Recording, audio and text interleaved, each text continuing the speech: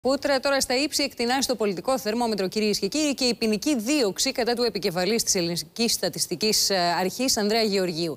Το θέμα προκάλεσε αντιπαράθεση στην Ολομέλεια της Βουλής, αλλά και αντιδράσεις από την Κομισιόν. Με τον εκπρόσωπο του Αρμοδίου Επιτρόπου για τη Φορολογία σε ΜΕΤΑ να δηλώνει ότι τα ελληνικά στατιστικά στοιχεία του 2009 είναι αξιόπιστα και συνάδουν με τους κοινοτικούς κανόνες.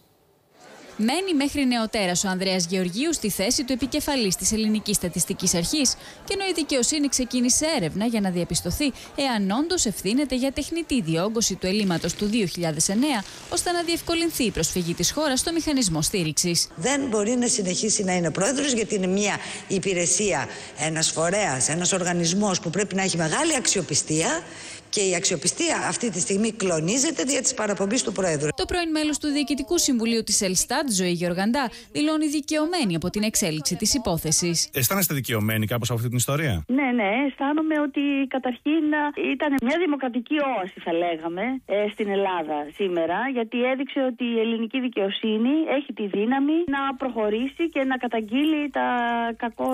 Την ίδια στιγμή, πάντως, η Κομισιόν Διαστόματος της εκπροσώπου του Ευρωπαίου Επιτρόπου Αλγκύρ Κίρντα Σεμέτα, αρμόδιο για ζητήματα φορολογίας, εξέφρασε την πεποίθηση πως τα ελληνικά στατιστικά στοιχεία του 2009 είναι αξιόπιστα. Εάν επικεντρωθούμε στα μεγέθη καθεαυτά, η Eurostat έχει ξεκαθαρίσει ότι βρίσκει τα στατιστικά δημοσιονομικά στοιχεία για το 2009 που κοινοποιήθηκαν από την Ελληνική Στατιστική Αρχή να είναι αξιόπιστα και ότι συνάδουν με τους κοινοτικούς κανόνες που ακολουθούν όλα τα κράτη-μέλη της Ευρωπαϊκής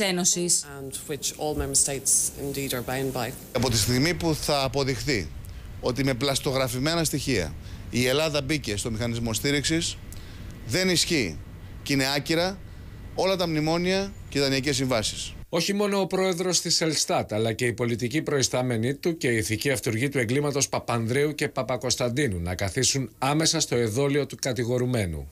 Το όποιο μαγείρεμα των στοιχείων της Ελστάτ το 2009 για το έλλειμμα αποτέλεσε φαλτήριο για να προωθηθούν τα προαποφασισμένα άγρια αντιλαϊκά μέτρα προκειμένου να πληρώσει ο λαός τις συνέπειες της κρίσης. Σε περίπτωση που κατά τη διάρκεια της έρευνας της δικαιοσύνης προκύψουν ευθύνες για πολιτικά πρόσωπα, δεν αποκλείεται ο φάκελος της υπόθεσης να σταλεί και πάλι στη Βουλή.